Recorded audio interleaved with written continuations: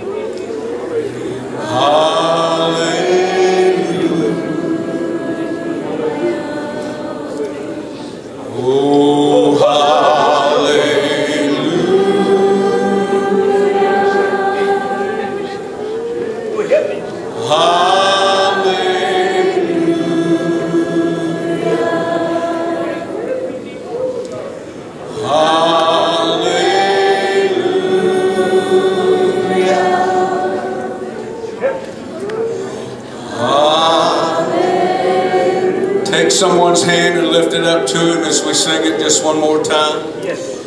Oh, hallelujah.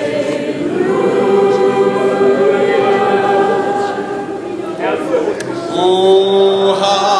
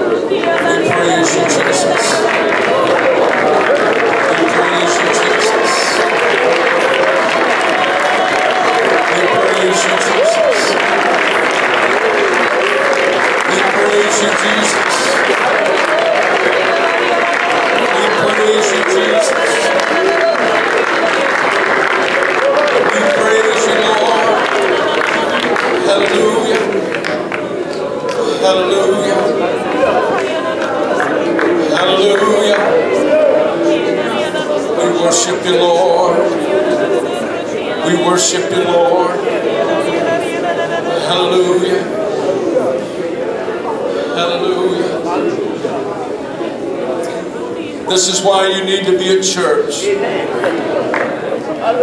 This is why we need to gather together in corporate worship. God will do so much more when we're in unified praise. Amen. There's nothing that limits Him except our imagination. There's nothing that restricts Him except our reasoning, our rationale, and our hesitation of coming and allowing Him to do. This is what church, this is what church is about. Paul teaches in 1 Corinthians, especially in the 14th chapter, he gives us direction. The intent of the 14th chapter focuses on the needs of the unbeliever. That when people would come in, that our worship, our worship, he says, for when, when there are tongues mm-hmm. and interpretation, it causes the unbeliever to believe. That's why we need to operate freely in the moves of the Spirit. Amen. Our focus is on those that don't believe, but also, he said, when I speak in tongues, I edify myself. That's why you need to pray in tongues. Amen. Amen. That's right. You need to talk in tongues regularly. Man, I feel the Holy Ghost. Because you need to allow the Holy Ghost to edify you. You need to be lifted up. You need to be built up. You need to be encouraged in the Spirit. And sometimes the Holy Ghost will reach into avenues that the preacher won't reach into.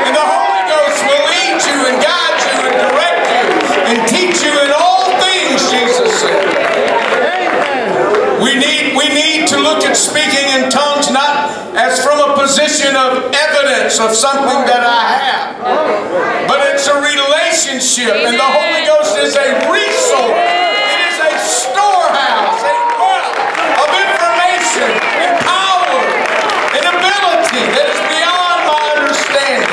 That's why we need to pray in the Holy Ghost. We need to sing in the Holy Ghost.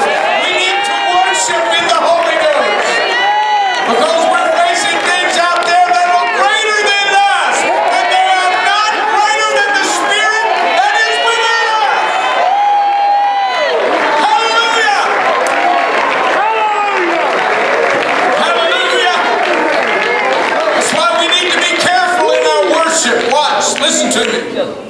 We come together in worship in unity for the body's sake. Right. I'm edified by speaking in tongues, but listen to me. The purpose of us coming together is not all about me. It has to be about us. And when it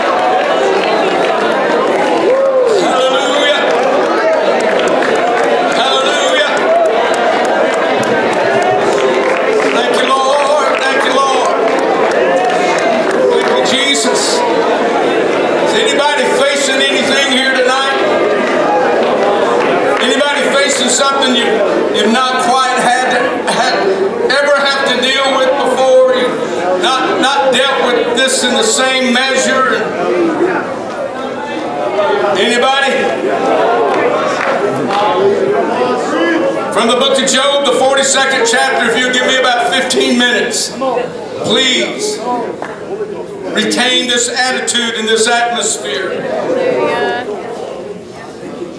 Chapter 42, verse 1 Then Job answered the Lord and said, I know that thou canst do everything.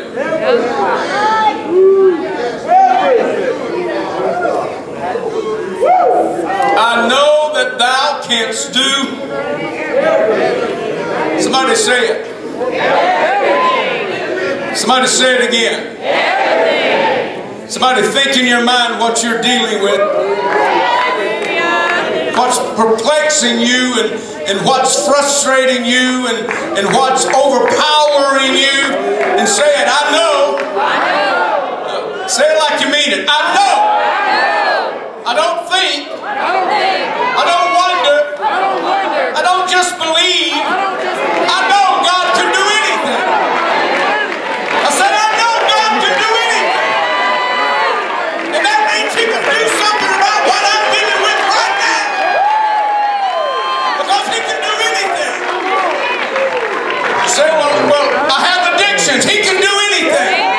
You say, well, I have worries. Well, He can do anything. You say, well, I have financial problems. He can do anything. You say, I have emotional problems. He can do absolutely anything. I know that thou canst do everything, and that no fault can be withholden from thee. Who is he that hideth counsel without knowledge? Therefore have I uttered that I understood not things too wonderful for me, which I knew not. Hear I beseech thee, and I will speak, and I will demand of thee, and declare thou unto me, I have heard of thee by the hearing of the ear. But now, mine eye seeth thee. I want to talk to you just a few minutes about but now. But now. Things look different when you're on this side of the mountain. Things look a little bit different when you're in the bottom of the valley.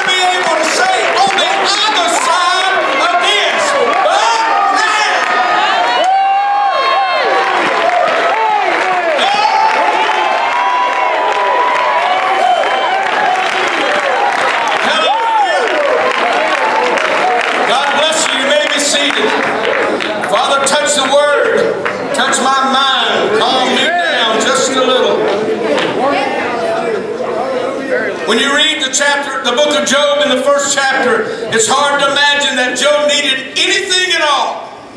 The Bible says he was a perfect man. He was upright and he feared God and eschewed evil. That means he was a pretty good dude. He was better than I've been most of my life. And not to hurt your feelings, he's better than most of you are right now. And it- it's hard to imagine that there was any need in his life. People came to him for advice. People came to him for direction. People came to him for encouragement. People came to him for help. People came to him for wisdom, for counsel, because he was so well respected. But there's a difference in knowing about some, uh, uh, knowing about someone, and believing in someone, and knowing someone. There's a huge difference. Sometimes we who believe or believe are pushed into a corner where there's no way out because God wants us to understand what it's like on the other side and the things that He wants to reveal to us cannot be revealed to us while we're in an atmosphere like this and while we're surrounded by brothers and sisters of like faith and like-minded that are worshiping like we are. And sometimes God chooses to separate us from the herd and put us in a place where no word of encouragement can get us out. And there's no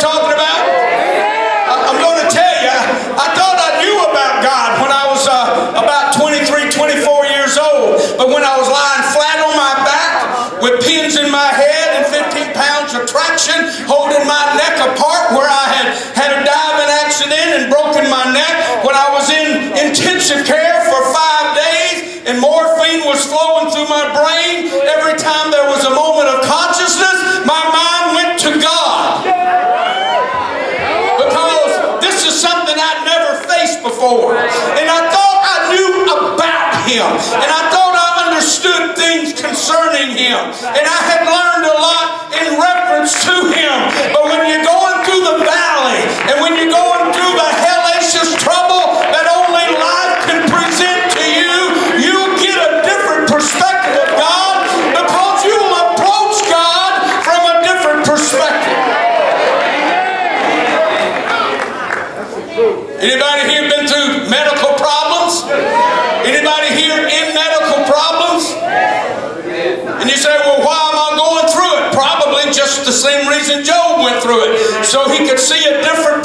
of God.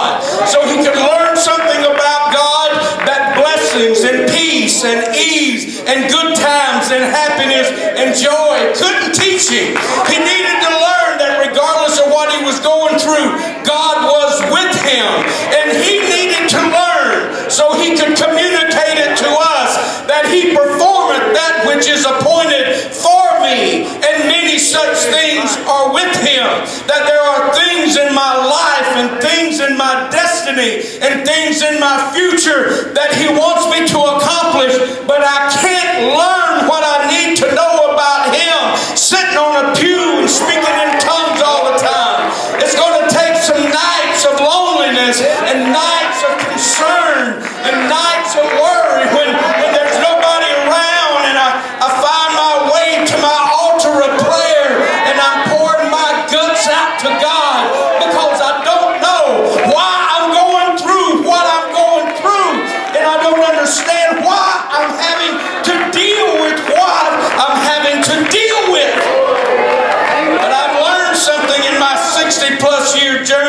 on the face of this earth. If you know the why, you can deal with the what. And if we can adapt in our mind and in our spirit the fact that regardless of what it looks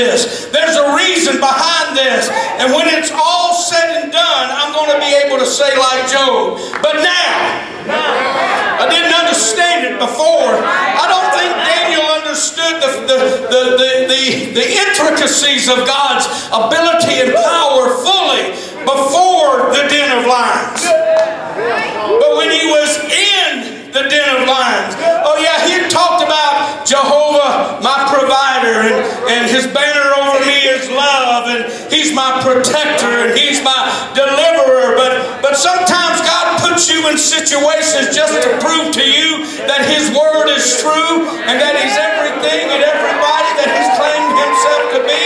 And He's going to put you in a hopeless, helpless situation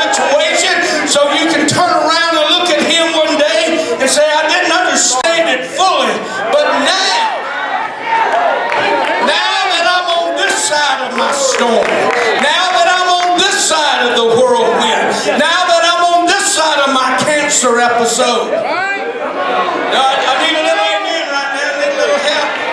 Now that I'm on this side of my divorce, y'all got a little quiet there. Now that I'm on this side of the upsetting of my children's lives and the imbalance and, and all that's going on in my family around me. But, but if we can make up our minds, number one, we're not here by accident. Number one, we're not in this by, by just by just happenstance or coincidence. If all things work together for the good of them that love the Lord and are called according to his purpose, then all things work together for the good. And if he says all things work together for the good, then whatever I'm dealing with today has to be working for my good. And there's going to be a but now. And if you can look at what you're dealing and just, just ask God, are you trying to give me a wake-up call? Uh, well, why would he do that to me? I don't know, but he put Moses in the desert for 40 years. He did. He put Moses in the desert so Moses could come to himself and learn about himself and give God an opportunity to reveal himself in a greater dimension. Well, I, I, I don't know, but he knocked Paul, he knocked Saul of Tarsus down on the road to Damascus and blinded his eyes. Why? So he could introduce himself to Paul in a different dimension. I'm the one that you're fighting against. Well, why did you why did you knock me down? Because you wouldn't listen to me any other way. And I've tried to reveal myself to you through truth. And I've tried myself to you through the law and through my word. But you choose to intellectually approach me. But I want you to get down to the nitty gritty right now. I'm going to put you flat on your back. I'm going to make you blind as a bat. And I'm going to make you as helpless as helpless can be. And you're going to cry out to me,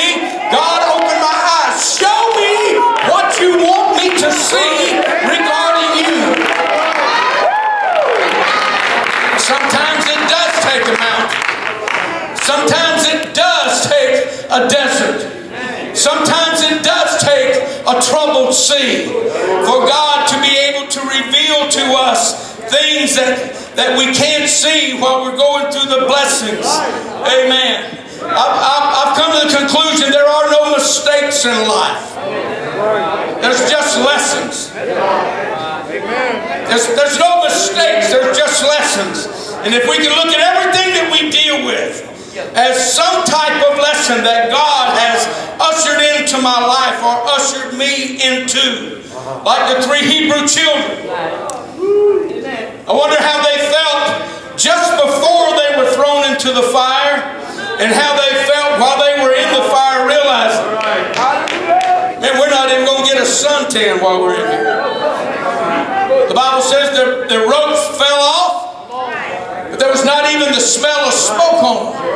Now, before they had proclaimed, regardless of what he does, we're not going to bow, we're not going to worship you, and I appreciate that fact. But I promise you, there was a deeper, greater revelation of who and what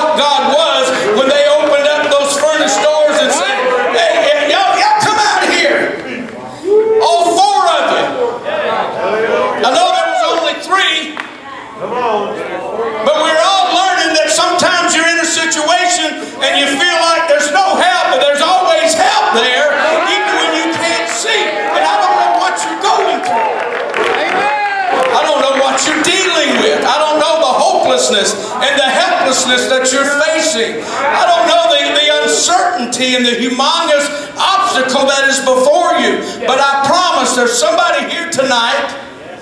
There's somebody here tonight that needs to hear what I'm telling you. God will see you through whatever it is that is troubling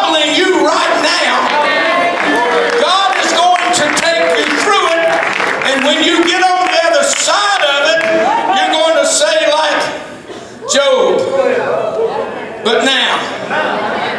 Arnold, you never knew what was going to happen to you with this stroke. You never knew, but I promise, this whole church, this whole movement can tell by your preaching in the past couple of years. You've seen an aspect of God that you never saw before, before it happened. You, you, you, you're awakened to a vein and to a voice of God that only this dilemma could present to you.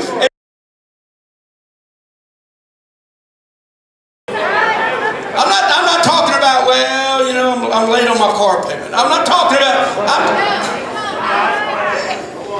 I'm not talking about, oh, well, my girlfriend broke up. I'm not talking about Is anybody here facing something impossible? I mean, impossible.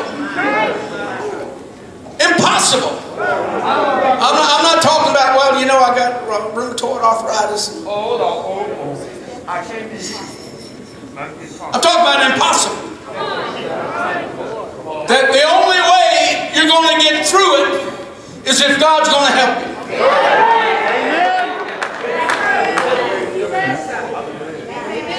The only way you're going to get on the other side of it and have your sanity and your health is for, for God, who Job said, I know thou canst do everything.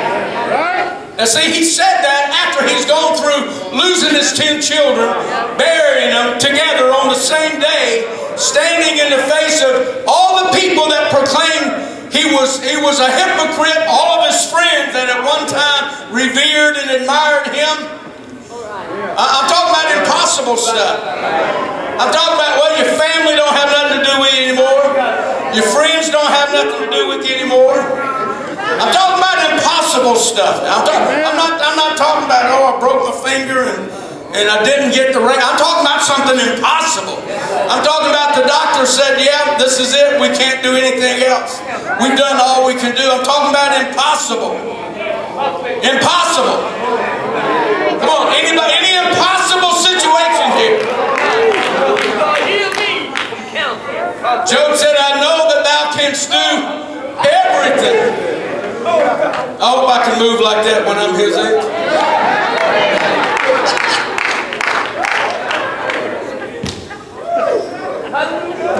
That's impossible. But if you look at what you're facing, if you look at what you're facing, and you get honest with God, I'm not talking about, oh, name it, claim it, and, and all that jive and all that stuff, all that garbage. I'm talking about if you will ask God, what is it that you want to show me while I'm going through this impossibility? What is it that you're trying to tell me by bringing me here? It's no accident that I'm here. No, no, no, no, no. No. People didn't put me here. I'm sure, I'm sure the prodigal, when he, when he woke up and had mud caked all over him, you know, and, and he's trying to get it off and he smells like a big old boar hog and they're grunting and wallowing all around him. I'm sure in his mind there, there was fresh visions of Papa going through his mind. There, wa- there was revelations. There was illumination of, of the goodness and the consistency and the, the unwaveringness of his father. And, and he began to understand all the things that his father was trying to do for him and to him and bless him with. And he began to awaken. And he said, I shall arise. If you will look at whatever, if it's failure in your life, what? And you, you say, well, God didn't bring me here. Well, God allowed you to keep on butting your head against the wall until you